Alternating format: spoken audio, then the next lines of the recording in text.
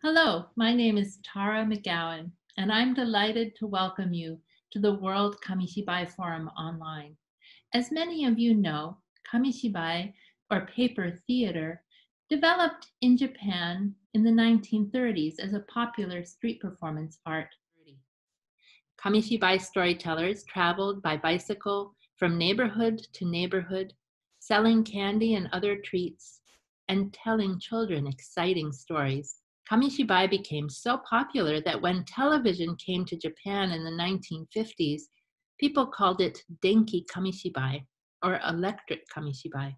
If you look at a Kamishibai stage or butai, you can see why people thought it was similar to a TV screen.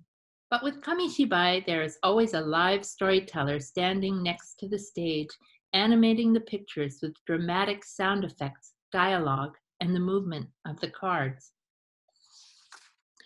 Award winning author and illustrator Allen Say, who grew up in Japan, published his picture book, Kamishibai Man, in 2005, based on his memories of the street performance artists. He thought that Kamishibai had died out when television came to Japan. When he found out through a mutual friend that I was offering Kamishibai workshops at Cotsen Children's Library at Princeton University in New Jersey, he was so surprised he called me out of the blue. He wanted to know how I had learned about Kamishibai, and he even asked me to write the afterword, a brief history of Kamishibai. What Allen Say didn't know is that there are artists and educators around the world who are discovering Kamishibai and using it in community centers, schools, libraries, museums, and other venues to entertain and educate children and adults and to inspire them to create their own stories and to perform for each other. With its connections to the history of film and other visual popular culture from Japan, like manga and anime, Kamishibai has been attracting interest from outside Japan for many years now. That enthusiasm and interest has recently been re imported to Japan. In fact, there is a whole new generation of young street performance artists who organize annual festivals in Japan in the summer. There are also a growing number of tezukuri or handmade kamishibai festivals where people of all ages create and perform their own stories for each other in annual festivals throughout Japan. The purpose of the World Kamishibai Forum is to celebrate the diversity of performance styles that have developed in Japan and across the globe so that we may learn from each other about this vibrant art form.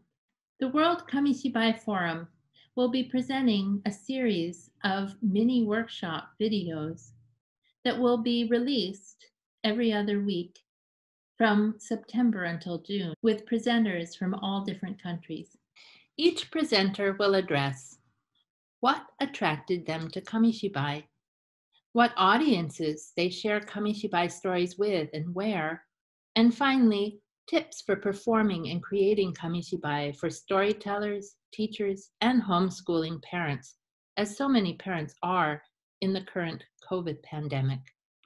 In coordination with the videos, we will be offering a series of webinars once a month to give presenters an opportunity to answer questions. Everyone who has watched the videos will have an opportunity to register for the webinars and submit questions prior to or during the moderated discussions. To start off the series, I would like to begin by briefly modeling what we are asking the presenters to do in their videos by answering the question, what was it that first attracted me to Kamishibai? As a visual artist and storyteller working in public schools in New Jersey and teaching in Japanese at a Japanese language school, I became fascinated by visual storytelling. In the late 1990s, I met Margaret Eisenstadt and Donna Tamaki of Kamishibai for Kids in New York. Thanks to them, I was able to go to Japan and meet Eigoro Futamata, Kazuko Ute, and many other well-known Kamishibai performers and illustrators in Japan, including our first four presenters for this forum. Ute sensei took me to a tezukuri or handmade kamishibai festival in Mino near Osaka, where I saw performers from the ages of 3 to 83 all sharing their own original kamishibai stories with each other. I was hooked. After that, I went back to Japan many times to take part in these festivals and to meet new artists and storytellers.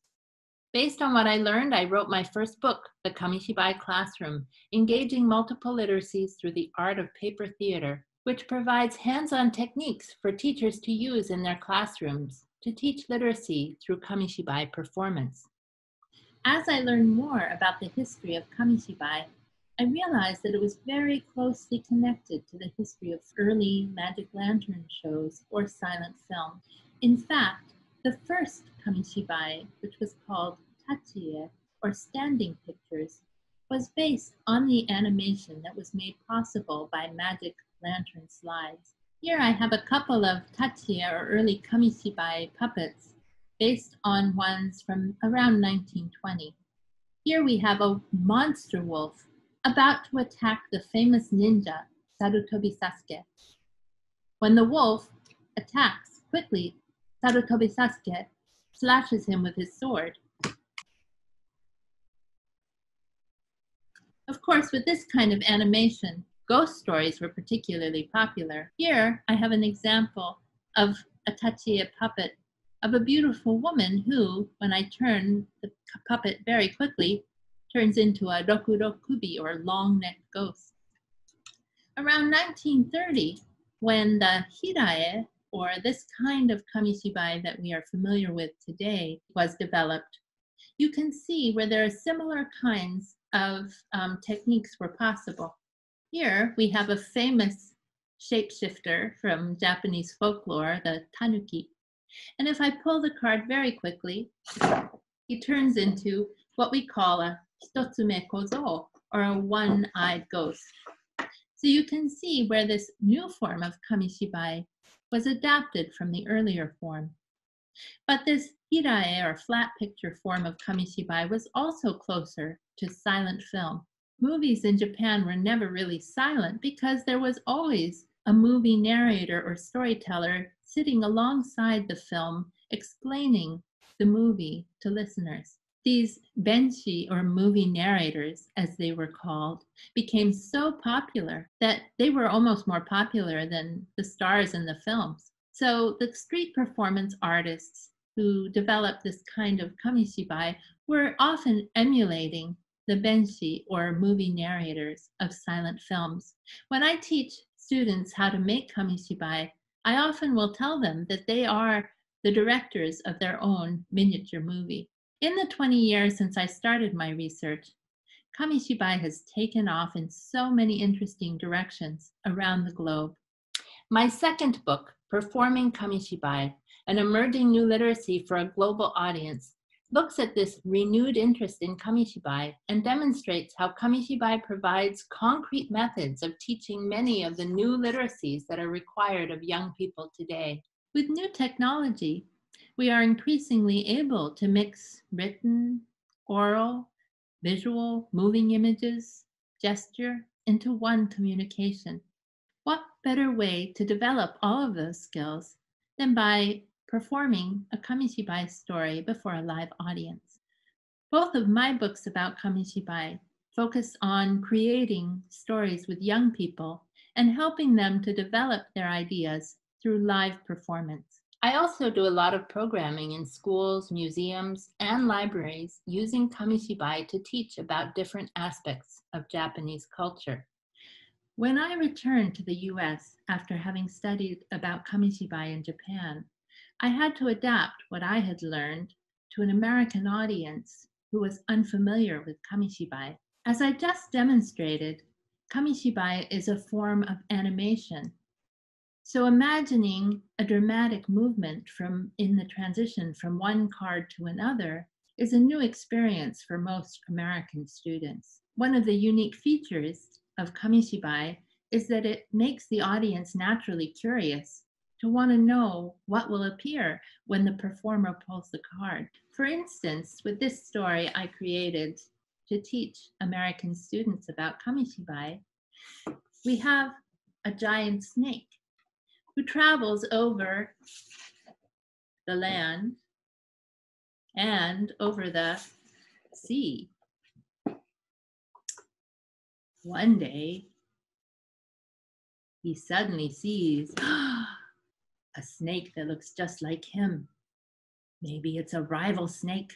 What do you think he does? Kaboom! He bites down on it, only to discover that he had traveled all around the world and bitten his own tail. This story also demonstrates how zooming in on the climax of the story and then panning out again allows you to have a very different perspective on the world.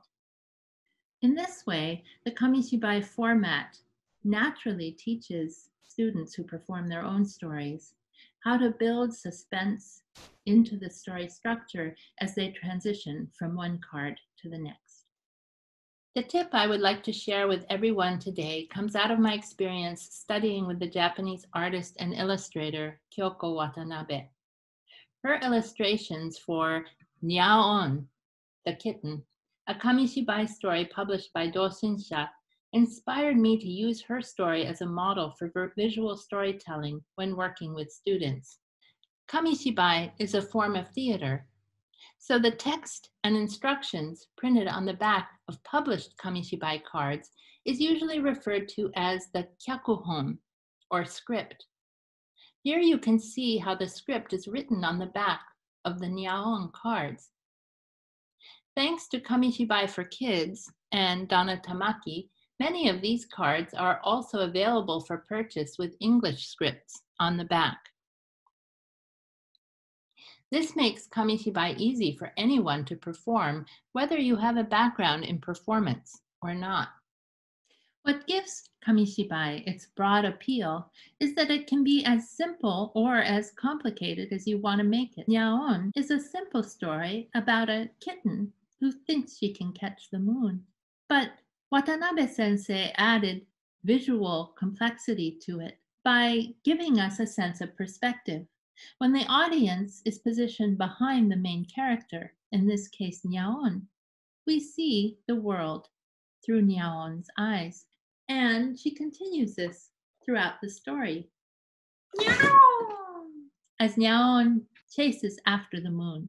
As you can see from my visual mapping of the story, Watanabe sensei builds suspense by the way she has the audience follow Nyaon through her various efforts to catch the moon she gradually builds these attempts up to the climax. Notice that she zooms in on the climax, suddenly bringing her audience face to face with Nyaon. Zooming in on the climax of the story is a visual technique to be found in many Kamishibai stories because it effectively pulls the audience into the story at the most exciting part. In this case, just when Nyaon catches the moon in a puddle. The use of zooming in at the climax and positioning the audience behind the main character so that they can see the story from the main character's perspective are techniques that I used in my adaptation of a Vietnamese folk tale, How Dragons Came to Be. One of the stories I created when I was studying with Watanabe sensei. As you watch me perform the story, notice that I also emulate Watanabe sensei's way of coming in on each scene from a different camera angle to keep the story visually exciting. In cinema, it is often said that the eyes tire before the ear, and this is true of Kamishibai as well. By varying the camera angles, zooming in and panning out, and some of the techniques I've just showed you, you keep your story visually exciting for your audience. This is a pourquoi story I chose to do in the Kamishibai format because it explains several visual phenomena. How dragons came to be. No, hajimari, hajimari.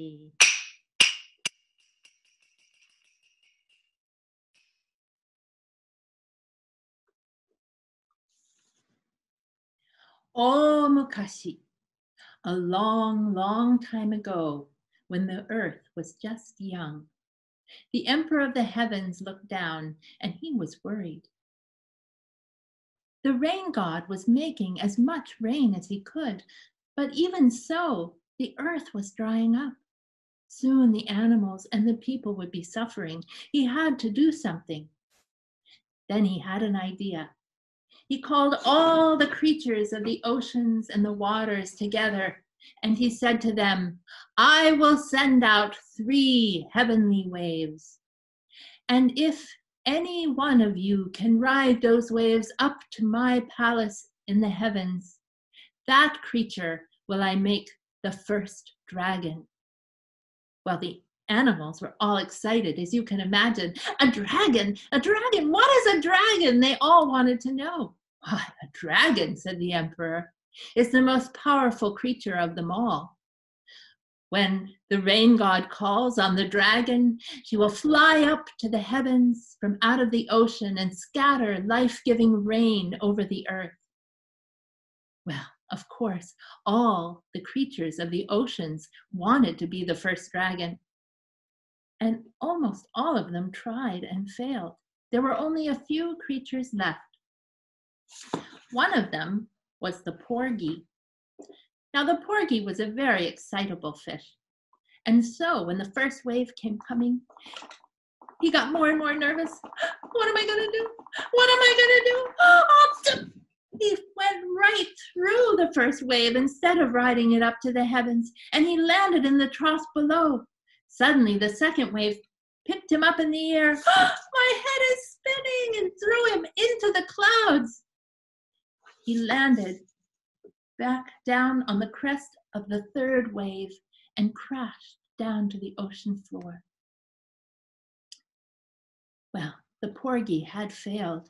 But the Emperor of the Heavens was so proud of him for trying that he placed his fingers on both sides of the porgy's flank. And that is why today, when you see a silver porgy, you'll notice they have spots on either side of them.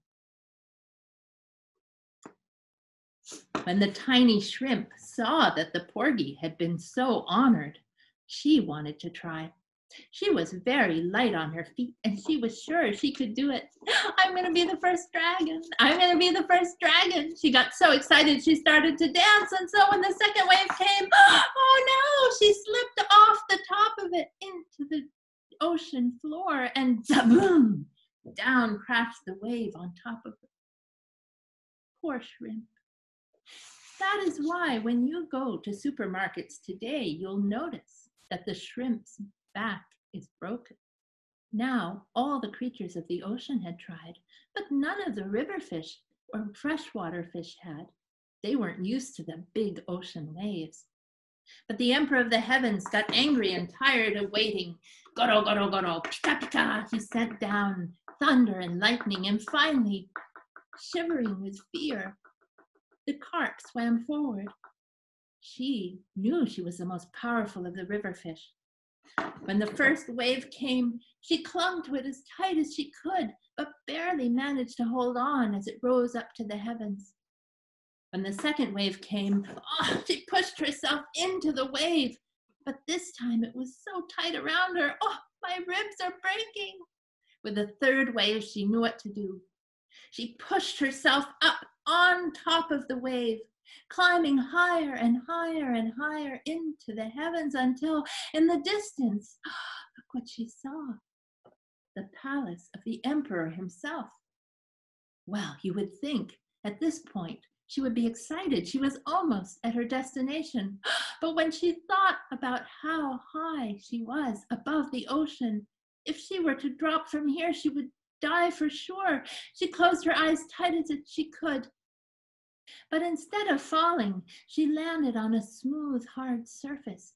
And when she opened her eyes, she saw that it was the floor of the palace, and above her, the Emperor of the Heavens himself was standing and waving his hand. And suddenly, from out of her own tail sprang a much longer tail.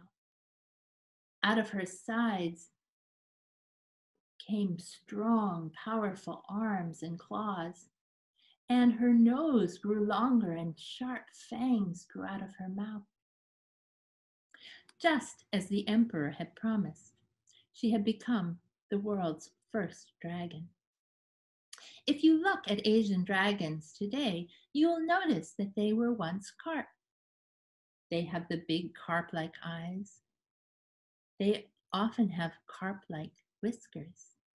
And they have the rainbow like scales all along their flanks. And that is why the carp is revered throughout Asia as a strong and powerful fish that became the first dragon so that we have enough rain on earth.